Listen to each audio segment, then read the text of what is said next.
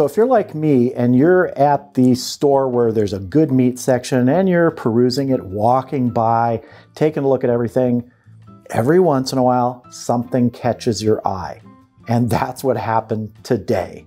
I saw these. These are some beef chuck short ribs with insane marbling. These are prime, but that marbling is just crazy. So I grabbed them. I'm gonna get them rubbed up tonight and then tomorrow we're gonna smoke these up out on the S&S Grills kettle. So let's just get started here. Now, I usually don't use a binder. I've, i say that almost all the time. I think usually meat has enough moisture, but this is pretty dry. So I'm gonna put a little bit of Worcestershire sauce on here just as a binder. Not gonna need a lot, just a little bit on each one and I'll rub them all around. This is an organic Worcestershire sauce.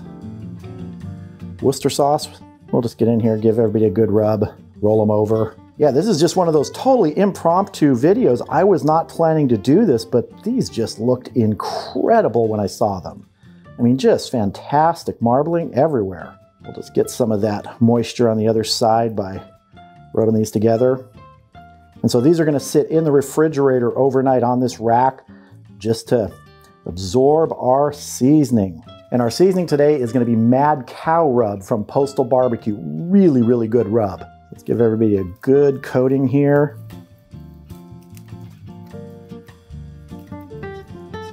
If you ever get your hands on beef chuck short ribs, really a good cut. They're, they're really like chuck roast in performance, so they take a little while, but they tend to have a little bit more moisture in them, I've found whereas chuck roast can have a tendency to dry out. I mean, anything from the chuck area, to me at least, I've found can have that tendency to dry out. So you got to be careful with it. You got to watch how you're cooking it.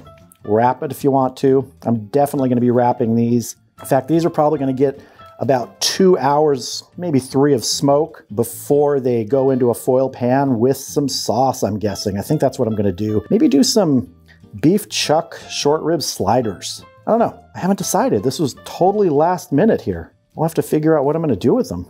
But it's definitely a happy accident to come upon these.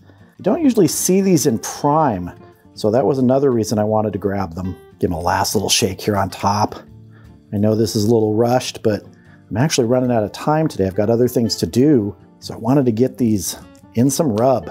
All right, these are looking good. They're gonna go in the refrigerator, just uncovered like this overnight.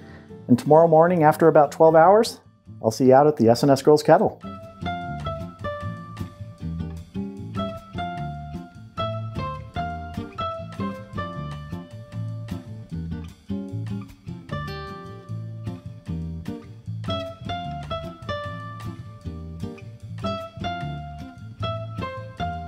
All right, the S&S Grills kettle's up to temp. We're going for 250 to 300 today. I'll adjust my vents as necessary to keep us in that range.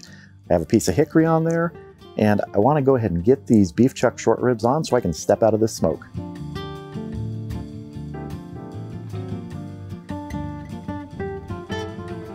Just want to get a temperature probe into my largest one here, which is this one. That's just so I have sort of a reference to look at as we're getting closer to that stall, but really these are gonna take maybe two to three hours uncovered before we put them in a foil pan with some sauce. So let's get our lid on and get smoking.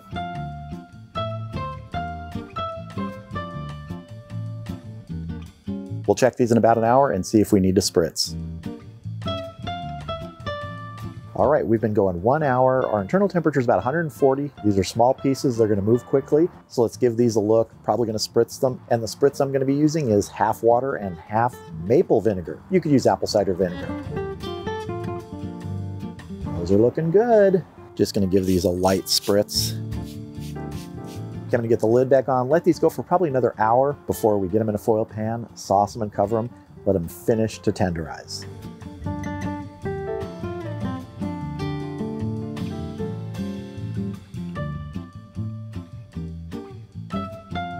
All right, we are at the two hour mark. The internal temperature rise has really slowed down around 155-ish. So we're gonna go ahead, take these off, get them in a foil pan, give them some sauce, wrap them up, get them back on to finish. They're looking really nice.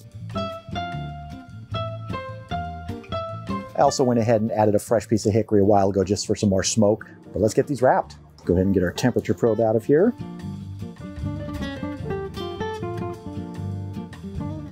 We will have to stack a couple of these, but that's all right. The barbecue sauce I'm using today is Smoky Mountain by Blues Hog.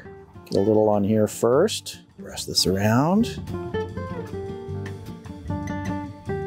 Last couple ribs in there. A little more sauce.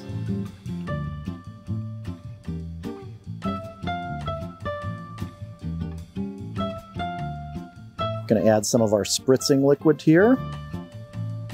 I think what I decided to do with these is I'm gonna make some boneless chuck short rib sliders. So let's get some foil on these, get it back on. Probably gonna take another hour or two to tenderize.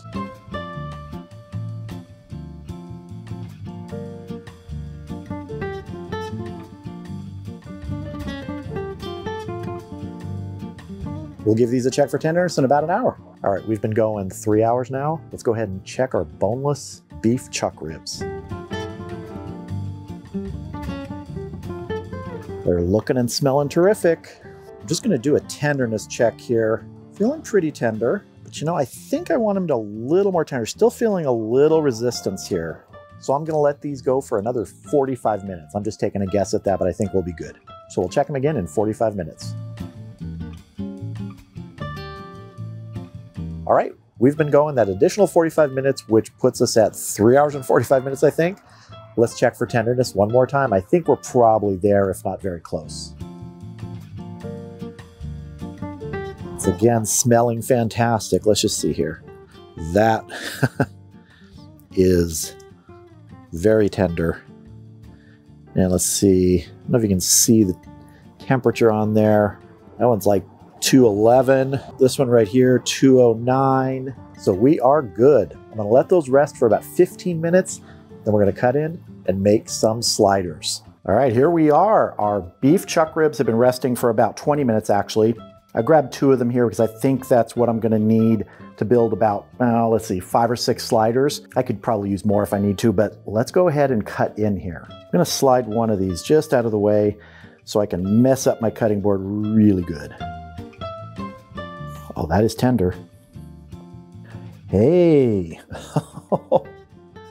That is juicy and got a little bit of a smoke ring there. And really for these sliders, you can see this is fairly thin. We're not gonna cover the bun with one piece, so we're just gonna kind of layer and stack them and lace them, whatever we need to do. So let's cut some. These are gonna be good. And one of the things about anything with chuck, when you have chuck roast or chuck ribs like these, you could end up with some pieces that are dry save that juice that's in the foil pan or in the wrap, whatever you used. It's great to just put on this as a little bit of an au jus. Really helps if you end up with any dry pieces. That Postal Barbecue Rub, I've used it many times. It is fantastic. Just keep slicing. Get as many pieces as we can here so we can build our sliders. Let's go for an end hunk taste that pretty much tastes like a burnt end. All right, I'm gonna finish slicing these. I'm gonna get our buns over here and then we'll build some sliders.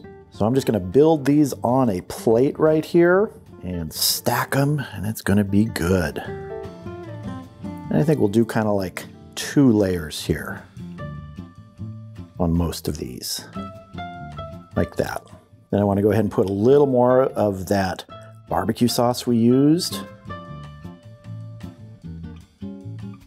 And I want to put some pickled jalapenos because I like that. And we'll top it. I'm going to finish building a few more and then we will have a taste. So I have a nice little pile of sliders here and I'm just going to dive in. Let's see. That's a mighty fine beef rib slider. This was one of those things where I really didn't know what I was going to make. And I think using cuts like this for sliders or barbecue beef sandwiches, if you're going to shred them, is really a good thing. Chuck roast, as I mentioned, or any piece of that chuck part of the cow can dry out. There are tendencies to do that, especially if you overcook it. But this was prime to start with, so we were a little bit ahead of the game there. Wrapping it early, not letting it go way beyond the stall does help. You get it in there with some moisture, that helps retain some moisture. And all in all, I'm just 100% happy with these.